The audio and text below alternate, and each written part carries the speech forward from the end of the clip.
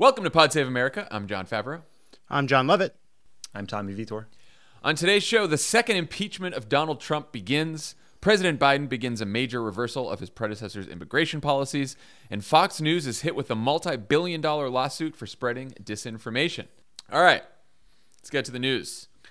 The former host of The Apprentice is back in the spotlight as Trump's second impeachment trial kicks off on Tuesday. A new ABC poll shows 56% of Americans believe the 45th president should be convicted of inciting a violent insurrection against the government he once led. That's up from the 47% who believed he should have been impeached the first time. That first impeachment, way back in the day. Generous uh, to say he led a government. Yeah. Supposedly. Uh, Donald Trump is refusing a request from Congress that he testify, so he will be a no show. Another no show will be Chief Justice John Roberts, who has declined to preside over the trial. So the most senior member of the Senate, Vermont's Pat Leahy, will take his place. Uh, and most outlets are now reporting that neither side is likely to call any witnesses, that that is not a sure bet just yet. So no Trump, no Roberts, maybe no witnesses, almost no chance of conviction uh, since you'd need 17 Republican senators, and all but five of them have said that the trial itself is unconstitutional. With all that in mind, what are the Democratic House managers who will act as prosecutors trying to achieve? Is this just about going through the motions because it's the right thing to do, or is there a potential political benefit here, Tommy?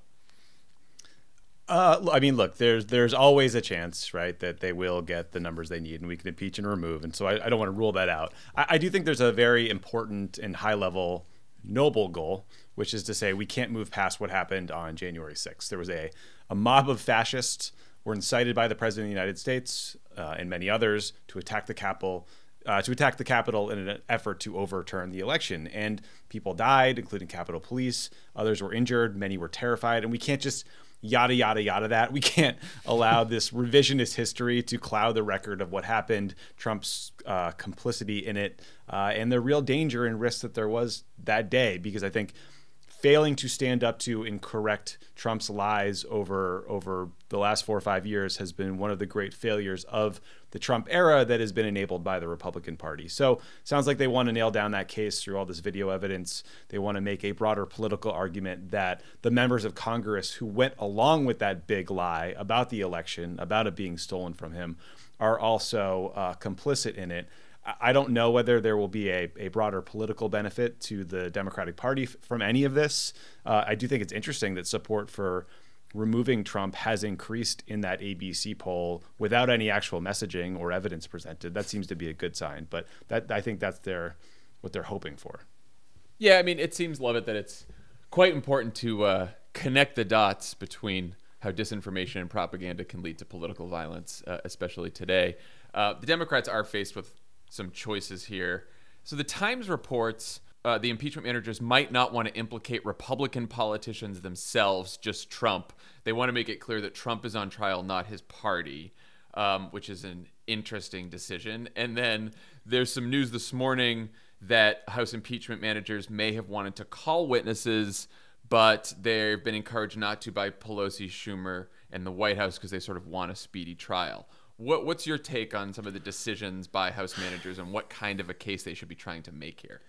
So, first of all, I just I do think that they're in a very difficult position, um, in part because so much of the coverage has revolved around the fact that this is a foregone conclusion.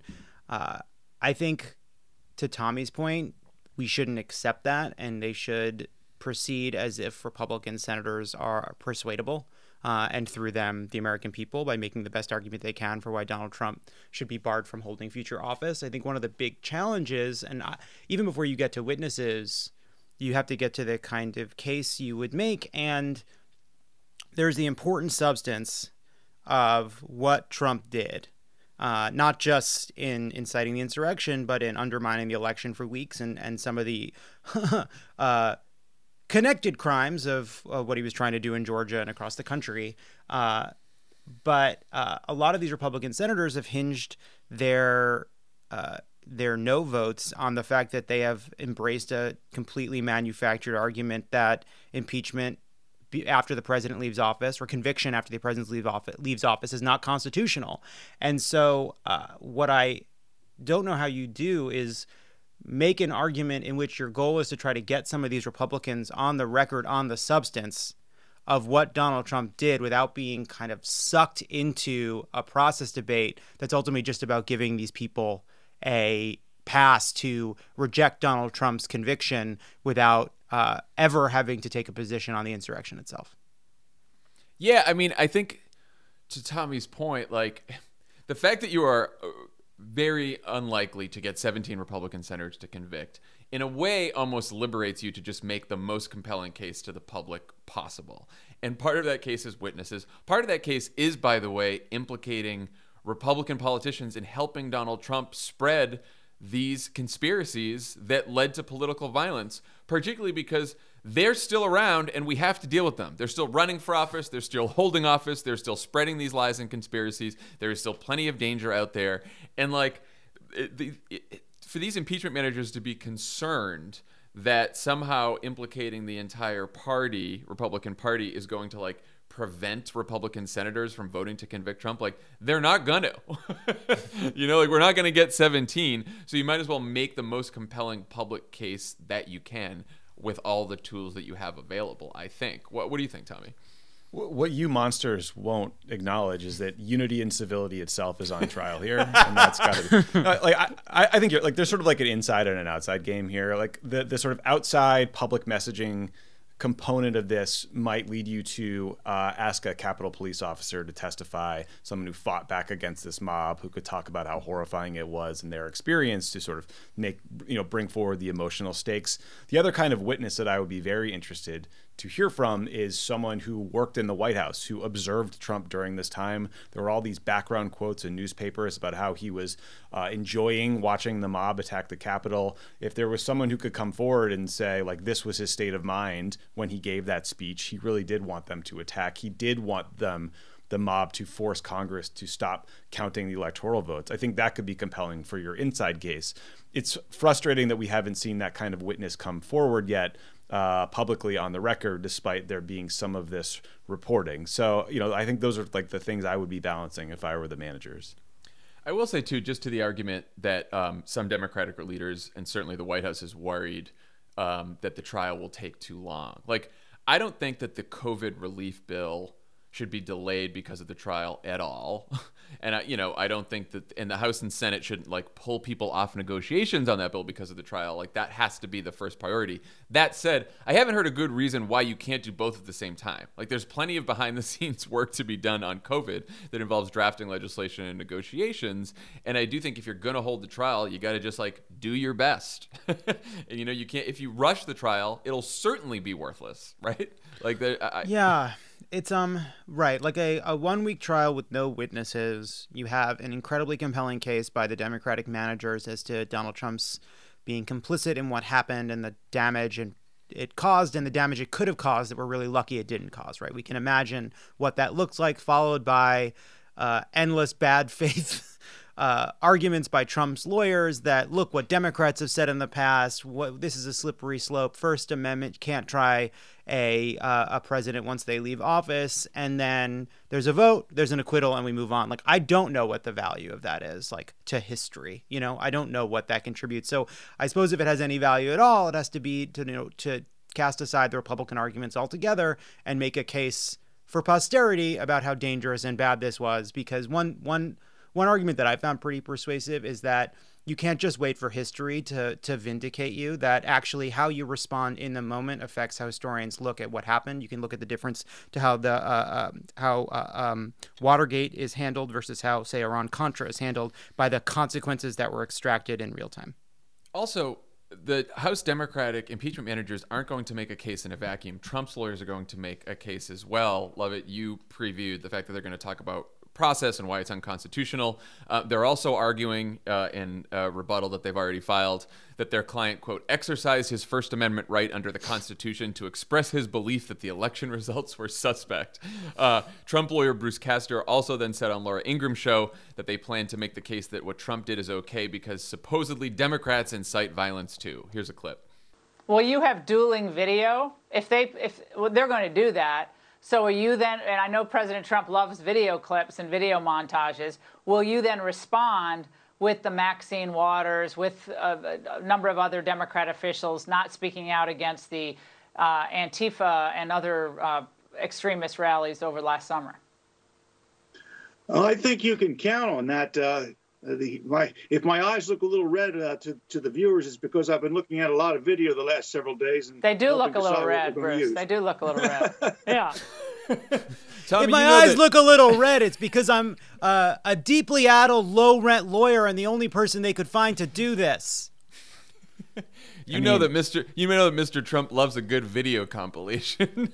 Listen, who doesn't love a good montage, right? I mean, we, when does that come? Lovett? Like, is it sort of like early Act Two? You get a great like training montage. Or But something? yeah, look, Of according to the structure that we're all stuck Yeah. with, I suppose it'd be sometime, you know, it's the fun and games, as they say. Right. You know? Look, Montage. Who doesn't love the fun and games? But I, I do think it's very funny. Uh, this I can't believe we're talking process when these guys literally watched a, a mob of fascists storm their office and saw cops get killed. I mean, there are conservative legal scholars who argue that this Republican argument, the Trump defense argument that you can't impeach a former president is, is wrong. Like Matt Gaetz, the biggest Trump lackey on the planet, has previously tweeted that you can impeach a former president. I think that there's a a, a different but maybe more dangerous slippery slope argument here, which is if you say you can't impeach a former president, then our already very long, very dangerous lame duck period becomes even riskier because presidents can do whatever the hell they want. They can't be prosecuted and they can't be impeached. So I, I, I like I don't know. It's, uh, total impunity for the president of the United States maybe seems like a bad idea that people would want to consider. I also think that the specifically what that clip was about, which is like the whataboutism and like false equivalence between Democrats, like that they're gonna they're gonna go there. We're gonna hear all week all these comments from Democrats like that are you know nothing compared to what fucking Trump and the Republicans have done. Like get up in people's faces, which is not like go storm the seat of government while they're trying to certify the election. Yeah, I mean, look, I, so first of all, I do think that uh, as a country, we need to grapple with um, uh, the um, uh, law school brain disease uh, that has captured many people, in which you debate like like rock to the head, undebatable things like.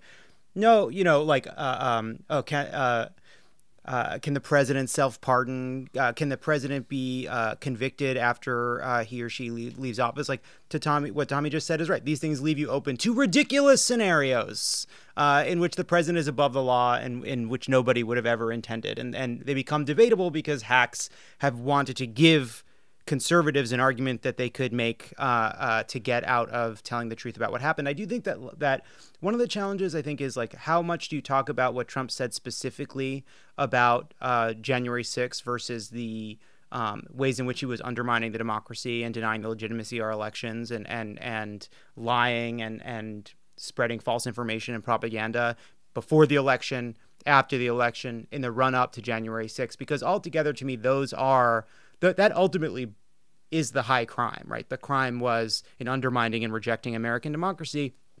I've seen people like John Cornyn and others making these ridiculous First Amendment arguments. First of all, like there are all kinds of things that the president uh, should be impeached for saying that a citizen could say at any time.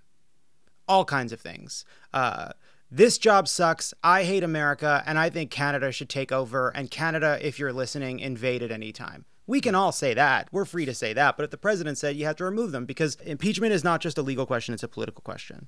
Um, the, fir- the First Amendment doesn't protect you from political consequences. Very famously, saying stupid things often has political consequences. What, what are they talking about? you know, the, the president in an open bathrobe coming into the into the press briefing room saying, "What do you fuckers want? I hate this country." you know, I mean- that goes on long enough. You got to bad. remove him. Might But be, to you- be a to- problem.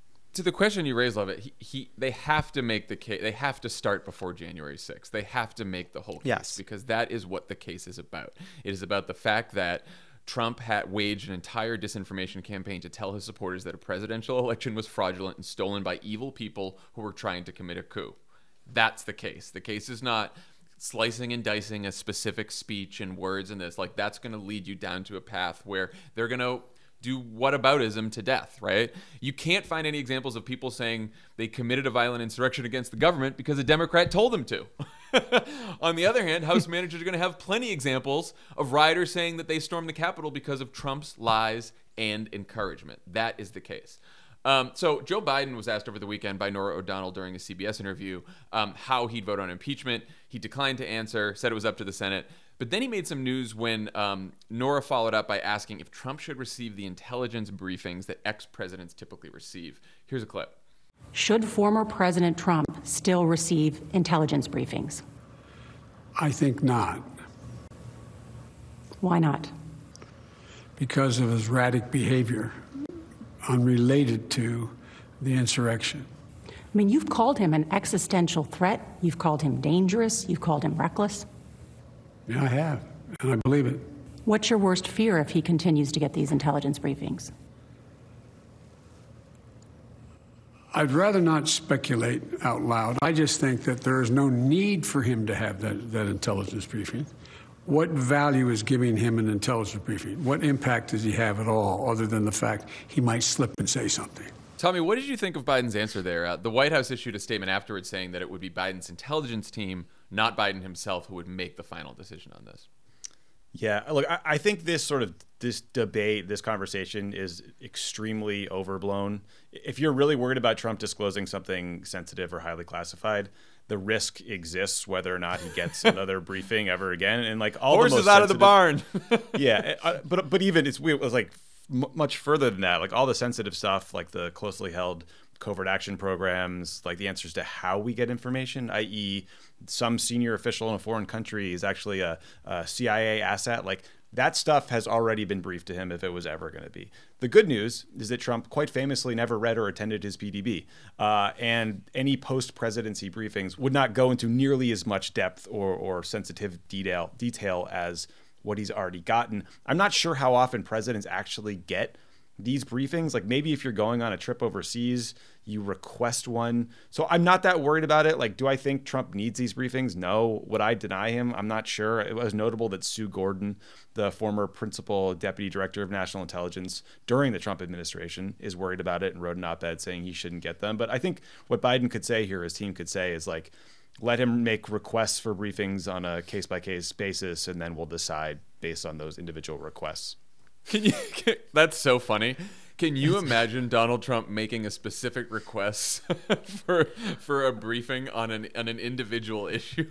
I mean, no. it's worth. It's like it's um all of it. It's so like there was this. Some people like, well, what kind of precedent would it set of if uh, Joe Biden denies Donald Trump intelligence briefing? Like president, like this is all predicated on the idea that Donald Trump is an interested party who cared about national security, had a few issues of focus on which he became quite expert, would like to keep up with those, and perhaps hope, hopes of, say, traveling abroad as a represent- representative of the United States or advising Joe Biden in his capacity of as an ex president with a lot of information and helpful experience that he could impart. I don't think anybody thinks that that's a possibility. So uh, hey, it's uh, all it's all a bit quite hey, silly.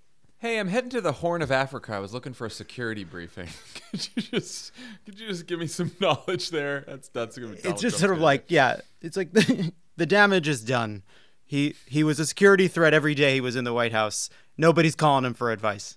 Uh, let's talk about immigration because the Washington Post reported that this week the Biden administration will direct Immigrations and Customs Enforcement, or ICE, to implement a quote major shift in enforcement that could sharply curb deportations of undocumented immigrants, focusing instead on people who are, quote, national security threats, recent border crossers, and people with aggravated felony convictions. Under the new guidelines, ICE agents would have to get approval from the agency's director to make arrests. Uh, one very sad ICE official told the Post, quote, they've abolished ICE without abolishing ICE. Cool. Uh, so we can talk about Biden's legislative strategy around immigration in a second, but we did learn in the Trump years that this is a policy area where the president wields a lot of power. Um, Tommy, how much can Biden do here without Congress, and what are his constraints? So, a lot of what he has done so far was about rolling back specific Trump era policies. Basically, Trump, Stephen Miller, Stephen Miller did everything by executive order and nothing by legislation. So the good news is you can fix a lot of that. So that includes getting rid of the Muslim ban, which is a big deal in terms of the message sense of the world, but in practice, right, there's like COVID related travel bans in place. So it's like it'll take a while for this to really show up in terms of numbers. Uh, Biden will at least temporarily restore protections for uh, young undocumented migrants through the Deferred Action for Childhood Arrivals Program or DACA. He can stop construction of the border wall. Uh, they can rescind Trump's uh, attempt to exclude undocumented immigrants from the census count. They can get rid of the Remain in Mexico policy, which t- totally screwed up the asylum process. They can get rid of basically a wealth test that discriminated against poor people trying to immigrate to the U.S. So there's a lot they can just unwind by EO, and he's done very quickly. But you know, the the legislative piece of this is a lot more complicated, as I assume we'll soon discuss. Yeah, so Lovett. Obviously, legislation is, is one of the big constraints. What are some of the other constraints on the executive on, on Biden's executive power for what he can do here? Like, what are some of the how, uh, he can't sort of turn this all around on a dime right now, whether it's enforcement, whether it's the crisis at the border. Uh, like, what what are some of the issues that he's going to face here? Well, so one of them is the efforts of Trump is Trump officials who burrowed into the administration to try to kind of codify Trump era rules to make it difficult to say rein in ICE. There's uh, um, some question as to whether or not the Biden administration will be able to quickly unwind an agreement uh, that the Trump administration put in place uh, with the union uh, to make it unbelievable really, agreement to make it really difficult uh, to uh, make changes. Um, I'm not sure what the status of that is or what the hope is of being able to quickly undo that, for example. Ken Cuccinelli, who's Ken Trump Cuccinelli, DHS official, despicable. yeah, famous uh, anti-immigrant crusader, decided to strike a deal with the ICE union, saying that. Um, it, forbidding the federal government from making any modifications whatsoever concerning the policies and functions of the agents. Um, okay. Now I now I assume the sure. Biden the Biden administration can just challenge that at the Federal Labor Relations Board. Um, I know they're trying to purge some of the Trump officials from that board as well. Um, so, and then look, and then the other constraint is, of course, the courts and a lot of Trump judges. There was a Trump judge in Texas that um, basically, you know, Biden tried to suspend all deportations for 100 days. Federal judge in Texas tried to strike that down. So you know Biden's going to learn as as Obama learned too that it is you both are you're facing the courts and the bureaucracy even in your power as president to try to undo some of this.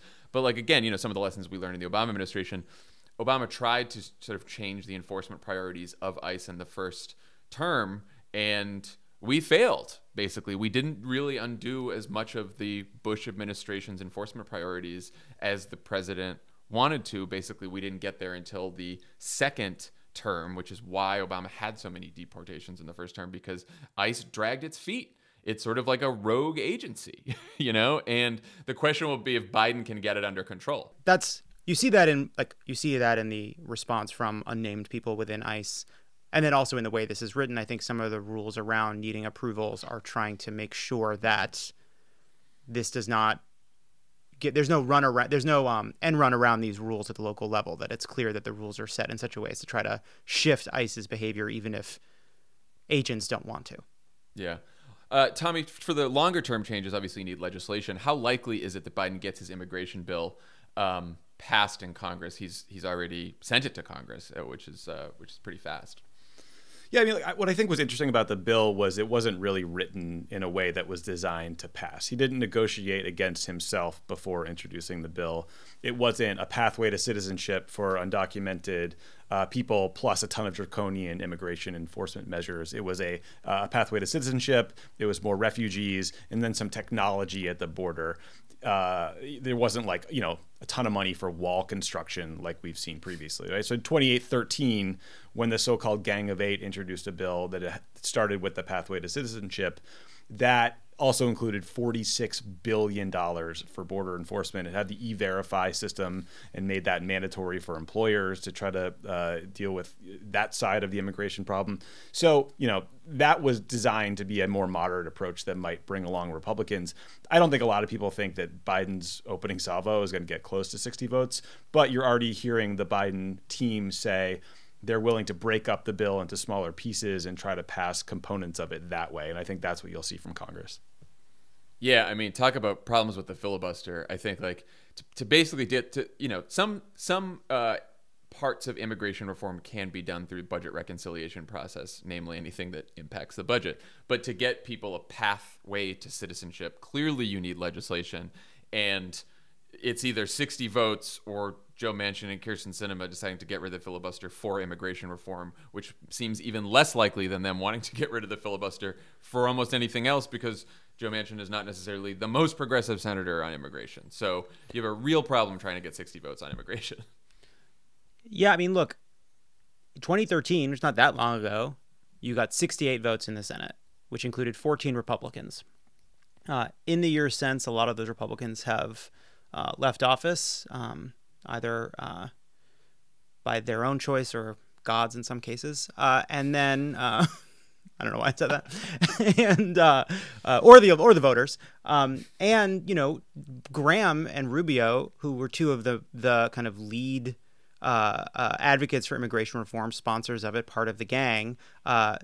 Decided that immigration was the path forward for the Republican Party, and then they enter the Republican primary, and Trump gives them a policy swirly in the toilet, and now Rubio says the thing that he was for and that he was going to make the hallmark of his legislative agenda is now a non-starter. So, um, on the one hand, like the bill is actually the the the pathway to citizenship itself.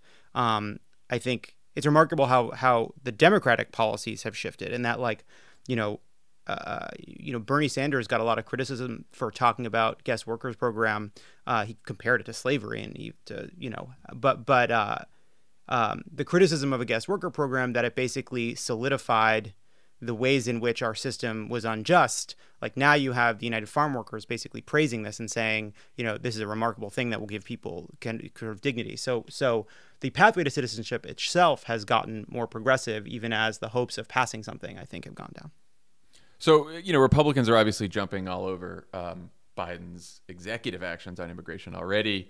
Uh, Lindsey Graham said the caravans are going to start to flow again.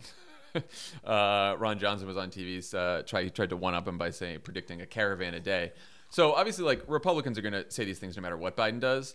But Tommy, like, how can how can President Biden institute a more humane immigration policy while still avoiding the kind of humanitarian crisis at the border that both Trump and Obama faced? We've talked about ICE and internal enforcement once immigrants are already here, but of course, you know, there were reports over the weekend that, you know, because um, Joe Biden is president, you know, a lot of migrants and asylum seekers feel like they're going to be more welcomed, and so they have been coming to the border again, and we know that the problems that, that can create. Yeah, I mean, look, one major thing that I, I, I forgot to mention was he's going to create a task force to reunify families that were separated on purpose by the Trump administration's policies, and, and that's like a huge, hugely important moral step to take. Uh, it's something we should mention. He wants to you know, start by addressing the asylum system. And in part, that means helping some of these Northern Triangle countries in Central America with uh, aid and, and, other support so that, you know, people who live in El Salvador don't feel like it is so unsafe uh, to remain in that country that they're going to travel north to the U.S. border to try to to get into the U.S. Uh, or seek asylum uh, because you know remaining is a death sentence, right? So that's a big piece of uh, Biden's plan. He also wants to get rid of this policy called Remain in Mexico that requires non Mexican migrants coming up from Latin America in most cases to remain in Mexico until they have an immigration court case. Uh, that has created these these camps along the border with absolutely horrific conditions, and that was the case before COVID. So those are some of the things that he can start adjusting and, and dealing with on his own. Well, some you know for the to help out the Northern Triangle countries, they'll have to eventually get some money out of Congress. But there are some steps he can take to just make the process better, even if that doesn't address the most important thing, which is this pathway to citizenship provision for the you know 11 to 13 million undocumented migrants in the U.S. Yeah, I mean it's it. The, the biggest problems are clearly this the backlog of asylum cases. Uh, you need more asylum judges. Need to be able to process these claims, and, and, that's been a problem for a long time. It was a problem through the Obama administration, through the Trump administration. Trump, of course, handled it like an inhumane fucking monster. Um, but the problem still exists, no matter what, no matter who's the president. And I do think like working with some of these Central American countries to address the root causes of migration is probably the only way, because otherwise you're going to constantly have migrants and asylum seekers coming to the border. And you do need some kind of system. You can't just have people crossing the border illegally when there are people who are trying to claim asylum through the official channels and trying to immigrate through the official channels, right? Like you have to have an actual system in place, which is tough and it's going to take a while to unwind, I think, what Trump did. I mean, there's no, like, we've been now over 30 years into this uh, since Yeah. the last immigration law was passed. There is no way to resolve the crisis without passing an immigration law, and there's no way to pass an immigration law unless Republicans are willing to um, to join. And you know, they passed the bill through the Senate, and then it died in John Boehner's House. Uh, now we could pass a bill through a Democratic House, and it looks like. Uh, with people like Graham and Rubio saying it's a non-starter, that it would die in a Senate, and none of this will ultimately change or resolve until you pass that law. That's it. Right. All right, let's end on a high note. Fox News is being sued for $2.7 billion. Uh, this is a defamation lawsuit brought by Smartmatic, an election technology company, which claims it lost business because Fox spread election fraud conspiracies and disinformation about the company. The suit also targets Fox anchors Maria Bartiromo, Jeanine Pirro, and Lou Dobbs, whose top rated show on Fox Business was canceled on Friday, despite the fact that he is still under contract. Uh, Smartmatic is suing Rudy Giuliani and Sidney Powell as well. What a cast of all stars, who are also the target of another billion dollar lawsuit from Dominion Voting Systems for defamation about their voting technology. Um, Lovett. What do you think about the use of defamation lawsuits as a way to fight disinformation? How effective have they been so far? So, I think those are two different questions. In terms of how it's been effective, it's certainly been more effective than um, than liberals haranguing these places on Twitter. Uh, you know, liberals. uh, we have not been able to. You know that the tweets are going to do it? uh, you know, it has been uh, quite satisfying to see places, some of the most heinous news outlets in the country, have to kind of come on the air and say, uh, we obviously never meant to imply, et cetera, et cetera. We regret, et cetera, et cetera. The disclaimer that uh, OAN had to put on before they aired uh, the Pillowman's uh, nonsense was uh, satisfying. Uh, some of these apologies, these extremely invasive step by step apologies, have been great to see. That said, like I am still this is an extraordinary example, right? Because there was a concerted effort across multiple networks to spread misinformation and propaganda and lies, information they knew to be false, uh, in order to help Donald Trump spread a kind of anti democratic narrative. And if there is a reason to have defamation, it is for this moment. That said, like, you know, a lot of people cheered on defamation lawsuits in the past. A lot of people cheered on lawsuits against places like Gawker. I was not one of them. Uh, Ronan has been threatened with with frivolous lawsuits around defamation, uh, and so I do think like uh, tempered enthusiasm is where I'm at. Tommy, what do you think? I mean, I, I think they've been highly effective so far. And I understand the concerns of about freedom of speech. You know, like we work at a media company, we started one. But the thing people under, need to understand is that the stuff that Rudy Giuliani and Sidney Powell and these folks are pushing is literally made up, right? They're saying Smartmatic software was used to flip votes in key swing states, but that software wasn't used literally in any of those states, right? And and for Smartmatic and some of these companies, like this is existential. Who would ever buy voting machines or software from a company that has this reputational damage? And you know, it is also poisoned the brains of all kinds of Trump voters. So yes, I would not be comfortable with, you know, MSNBC getting sued for reporting on Trump collusion or what. Like, but I also think that you know that's kind of the rejoinder you're hearing from a lot of conservatives.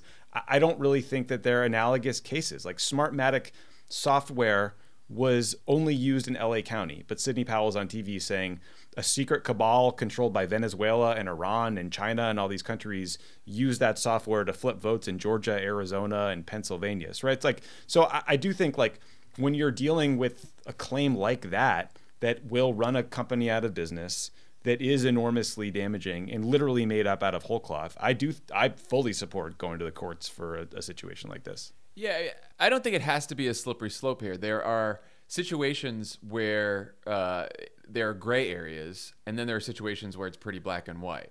And I think the black and white areas are the places for the defamation lawsuits, right? Like you make a pretty clear argument that by knowingly spreading spreading lies and conspiracies, Fox News and others caused harm to these companies, right? Like like like Tommy was saying. And I think if you can draw that direct connection and you can prove that they were knowingly spreading these false uh, conspiracies, that's a lot different than journalists being concerned that if they happen to say something that isn't true, that they could suddenly be held liable just because we're holding a bunch of propagandists liable who are like knowingly spreading conspiracies. Yeah, I think that's. I, I agree. I'm not. I, I I do think it's like, you know, there are other aspects of it, right? So if you host a show and you interview a guest and that guest spreads knowingly misinformation and falsehoods, when do you become responsible for what that person says on your air? Like there are questions like that, um, and it's also I it's think a, it's a it's a good question. Like if someone did that on Pod Save America, what would we do? We would probably go back, cut the segment, issue an apology, right? Like we would take a number of steps to try to rectify that. Yeah, no, I, I of course. I'm just I, I, like I am for this. I just I have I have I have a uh, if defamation laws should exist, it exists for a moment like this. But the the the challenge is, you know, even if you are if you are a journalist and you are sued for defamation and you are vindicated, it still can ruin you. It still can bankrupt you. Um, Yeah. It still can destroy your life. And so, like the kind of and and these these frivolous things are popping up more and more. So I am all for this. I guess it's just sort of like there is no larger lesson to be drawn. These companies have every right to sue these companies for billions of dollars for the damage they've done. I just think the larger conversation around defamation and how it's been used, I think, is um, uh, uh, worrying. That's all. Yeah. Well, it's also a question of like, what are stepping back? What are some of the other ways post Trump, post January sixth, of fighting disinformation uh, and conspiracies, which now we, have seen can lead to political violence? Um, what are some of the other effective ways aside from defamation lawsuits that we've seen uh, out there? the single most effective thing we've seen recently has been going after their money, right? Going after their advertisers, going after corporate backers for politicians. Basically, the customers drawing a line and saying, reaching Tucker Carlson's audience is not worth the damage to your brand uh, by being associated with Tucker Carlson. And I think that that's incredibly valid and and a uh, really important tool. Places like Sleeping Giants, uh, uh, Judd Legum at The Information, a number of other outlets have been great on this. And that to me, I think, is incredibly effective um, and good. Tommy, what do you think? What you know, one of the problems there is, uh, yes, like Tucker has fewer advertisers than he ever has before, and yet uh, the show's still on. Yeah, I mean, look, remember Bill O'Reilly was this sort of nightly cancer, uh, you know, being a horrible misogynist, talking about you know all kinds of conservative lies, and he was booted off uh, the network, and then we got Tucker, right? So it, it, it can get worse. I think that we are in a misinformation crisis. Uh, the most effective way to manage it that we've seen in the last couple years has been kicking Donald Trump off Twitter.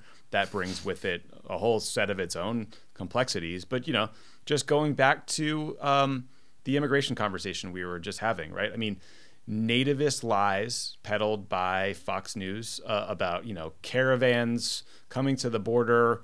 Uh, they're going to kill your family, right? It's like scary ISIS members are among them, right? Like those things have prevented reasonable immigration policies from getting put in place. And I'm and not in any way suggesting that there's a defamation suit to be had against Fox News for the caravan um, storyline or, or anything else. I'm just saying that I do think like the damage of misinformation has been so large and so clear over many years that I guess I, I've started to become less and less concerned about some of the slippery slope arguments against shutting down the loudest, most dishonest voices that are out there. Like at, some point, we need to course correct back in the in the in the direction of truth. At some point, I don't pretend to have all the answers here, but like doing what we're doing right now has has gotten us to Donald Trump being president and a fascist mob attack on the Capitol. And I, I think we can't go back to that status quo ante and, and leave the structural problems unchanged.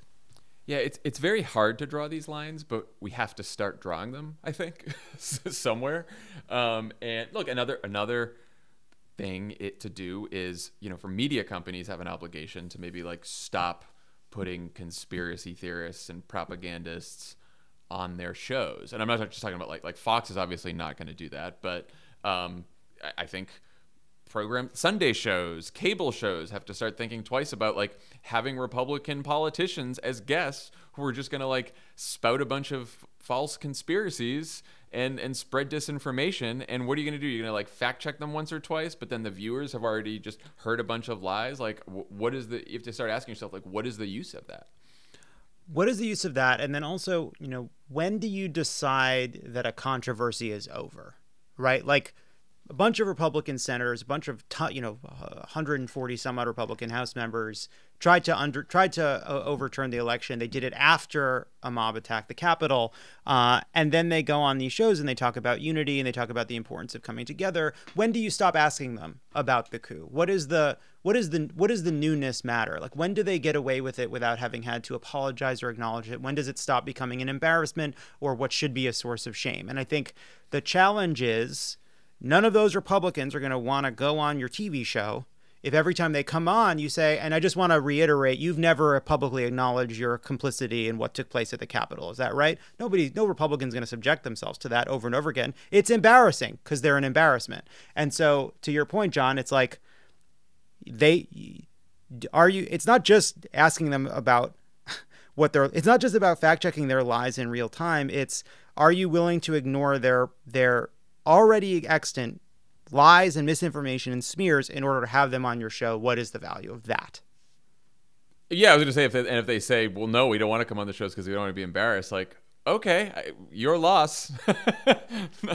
like, not America, America's gain that you don't come on these shows. I don't know. Is it better to just keep them off the shows? I just like it's look. You could. There's a lot of senators and members of Congress to choose from. Like, I don't get why Meet the Press and all these shows have Ron Johnson on all the time. He he is like I'm not sure he's all there, right? He peddles conspiracy theories about all kinds of things. He's a shameless liar. He's a shameless Trump defender. And the efforts that have been made by a lot of those hosts to fact check him have been terrible, terrible, terrible. And in the net effect is he spreads misinformation routinely on major network shows. And like, look, I, I'm not a big Sunday show fan. I'm not sure they're like driving the news anymore, but still, it, it is pretty glaring. I mean, you could just go out to somebody else that's not going to peddle uh, conspiracy theories that just led to an attack on the Capitol. That that would be my you know low low bar. It's partly a format issue too. Even if you have the best interviewer around, right? Like if if Ron Johnson goes on for a 10 minute segment and spouts 15 different conspiracy theories and and Chuck Todd only has time to correct two of them, then a whole bunch of others got through because you have a quick cable news segment. It's the whole problem with this, right? It's why all those Trump interviews always seemed like shitty unless it was like an hour sit down with Chris Wallace or Savannah Guthrie or, or, or Jake Tapper or somewhere where like someone could really drive at the at Trump over and over again to call out all his conspiracies. Like it takes a certain format and a certain amount of time to get that done. And if you can't do that, then it's really not worth having the person on in the first place because you're still letting a bunch of misinformation get through. I mean, I assume the reason Ron Johnson is on all these shows all the time is because he says yes.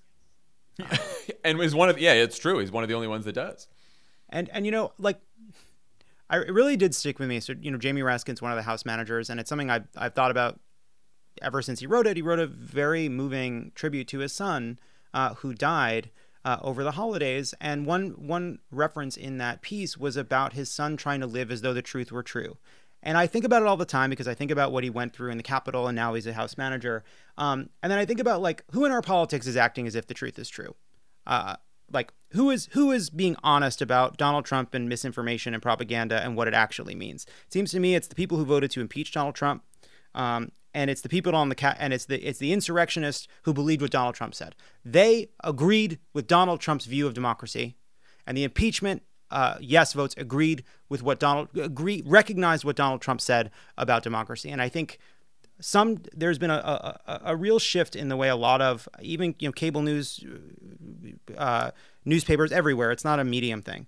Uh, there's been a shift in how they respond to misinformation and propaganda for the better. But there are still places where uh, in order to get guests in order to uh, re- respect the prestige of public office that senators should have that house members should have that the, that kevin mccarthy should have as the leader of the republican caucus that that prestige uh, is a defense against being honest about what they say and what they do.